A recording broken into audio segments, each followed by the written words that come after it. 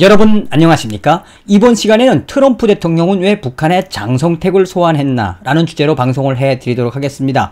트럼프 대통령이 장성택의 처형을 언급한 것은 워싱턴 포스트가 작년도에 소상하게 전했었습니다. 워싱턴 포스트는 이 트럼프 대통령이 김정은이에게 보내는 메시지 형태로 비공개 지지자들에게 김정은이는 자기의 이 은인이나 같으며 아버지나 같은 그러니까 이 고모부인 장성택을 어떻게 처형을 했으며 처형 이후에 장성택의 머리를 어떻게 해서 간부들에게 보여주게 됐는지 트럼프의 그 발언의 여지는 뭐였냐면 바로 트럼프 대통령이 김정은이를 어떻게 생각하고 있는지에 대한 소식이 작년도 9월 달에 나왔던 소식입니다. 자, 그럼 왜 이 말씀을 드리느냐? 요 며칠 동안 외신들이 지금 뜨겁게 달구고 있는 소식은 바로 무엇이냐? 트럼프 대통령이 이번에 김정은과 관련된 소식을 전했는데 그 소식들이 지금 와전이 돼서 김정은에 대한 트럼프의 그 본질을 볼 수 있다고 하겠습니다. 정성찬 TV 좋아요, 구독, 알림은 큰 힘이 되겠습니다. 자, 트럼프 대통령을 보려면 무엇을 봐야 합니까? 제가 방송에서도 항상 이야기했던 것처럼 트럼프 대통령은 사업가입니다. 사업가이고 정치적인 연륜보다는 사업가적인 그래서 트럼프 대통령이 가장 좋아하는 책은 성경이며 삼국지 나아가서는 이 철학적인 이야기보다는 사업적인 부분에 있어서 딜을 하는 딜의 거래의 이 진정한 달인이라고 이야기하지 않습니까? 자, 김정은이에 대해서 트럼프 대통령이 항상 이야기하는 건 뭡니까? 나는 지금도 김정은이와 사랑에 빠졌다. 연애 편지를 주고받는다. 지금이라도 김정은이가 비핵화의 회담에 오면 나는 막지 않겠다. 우리는 아주 좋은 사이다라고 이야기하지 않습니까? 그런데 김정은이에 대한 그 본질적인 본심을 누가 건드렸느냐? 트럼프 대통령의 이 국가안보 보좌관이었던 존 볼튼이 이번에 트럼프 대통령의 심기를 딱 건드렸는데 거기에서 되받아친 트럼프 대통령의 트윗에서 김정은에 대한 본질이 소상하게 나온다고 하겠습니다. 자, 뉴욕 포스트와 또 AFP통신이라든지 로이터 통신이 지금 연일 무엇을 타전하고 있느냐? 어이, 존 볼턴, 당신은 바보야. 김정은과의 러브레터는 김정은이 엿먹인 거야. 풍자야, 풍자라고 전하고 있습니다. 트럼프 대통령은 월요일 전 백악관 국가안보 보좌관이 북한의 김정은과 연애 편지를 교환한다는 설명을 문자 그대로 받아들이고 있는 실수를 범했다며 전 볼튼이 전 볼튼은 멍청이다 라고 불렀다며 트럼프는 내가 김정은의 연애 편지에 대해 이야기한 것은 그냥 김정은이를 풍자하고 비꼬는 조롱이었다. 한마디로 아새끼 까불지 말라. 뭐 이런 조롱이었다며 트럼프는 트위터에서 말하고 있다라고 전했습니다. 그러면서 뉴욕 포스트는 볼트는 트럼프 대통령이 볼트를 까는 겁니다. 볼트는 정말 바보 같다.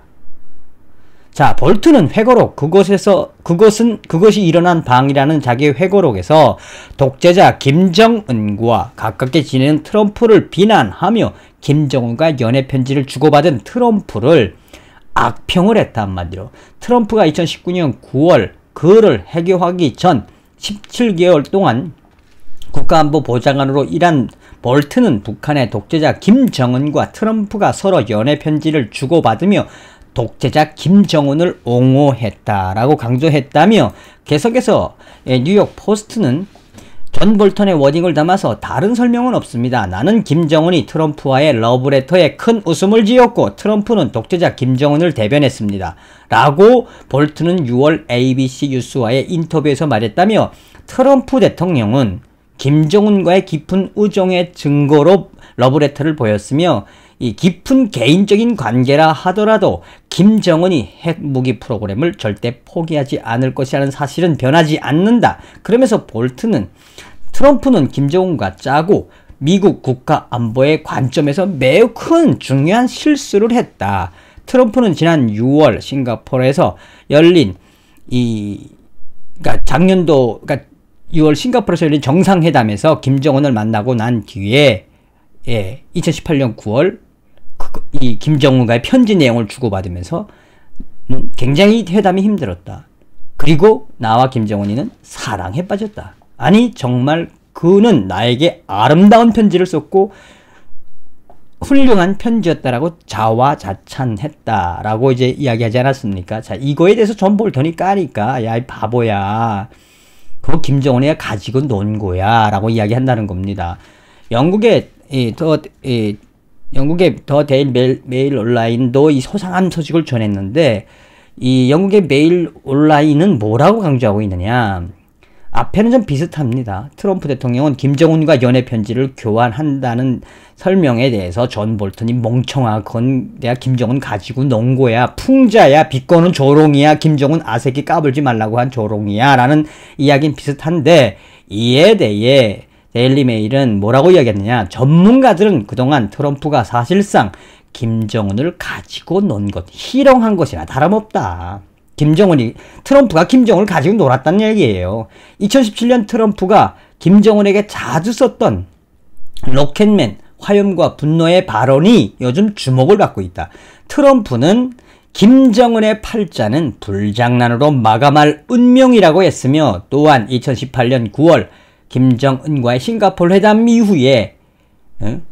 이 트럼프는 김정은을 만나고 나서 입맛을 잃었다. 한동안 육류는 자제해야겠다. 라며 김정은이를 짐승에 비했다. 뭔 소리예요? 그러니까 트럼프 대통령이 싱가포르 회담 끝나고 김정은이 돼지 같은 놈 만나가지고 이 식욕을 잃었다. 저 돼지 같은 놈, 그러니까 동물에 비유했다. 돼지 같은 놈이라고 운유적으로 표현했다라고 보시면 되겠습니다. 자, 트럼프 대통령의 정신을 보려면 이 기사가 가장 정확합니다. 워싱턴 포스트는 트럼프, 김정은이 장성택을 처형한 이후에 머리를 전시했다. 비공개 지지자 모임에서 김정은은 매우 불만스럽고 변덕스러운 놈이다. 트럼프 대통령이 김정은에 대해 고모부 장성택을 죽이고 머리를 다른 사람들이 보도록 전시했다며 워싱턴 포스트가 9월 10일 소상하게 전했습니다. 트럼프 대통령은 자기의 핵심 지지자들과의 비공개 모임에서 김정은이가 자기 고모부 은인, 은사인 고모부를 처형을 하고 그의 머리를 전시해서 당 간부들이 보게 했으며 나는 지금도 김정은이를, 김정은이를 볼 때마다 떠오르는 건 무엇이다? 그 미국의 정보 당국으로부터 받았던 보고서 김정은이는 절대 악이다. 절대 악이다. 자 오늘 이번 시간에는 존 볼튼이 트럼프 대통령을 드립다 깠는데 이 김정은이와 트럼프는 연애 편지를 주고받는다. 그래서 미국의 국가 안보에 굉장히 지장을 준다 했는데 트럼프 대통령이 뭔 소리야 볼튼 김정은이 가지고 논 거야. 난 김정은이 돼지 새끼처럼 생각해. 그리고 작년도 워싱턴 포스트가 이야기했던 트럼프의 본질. 장성택이를 죽인 김정은을 나는 잊을 수 없다. 그게 바로 트럼프 대통령의 본심입니다. 다음 시간에 뵙겠습니다. 멸공.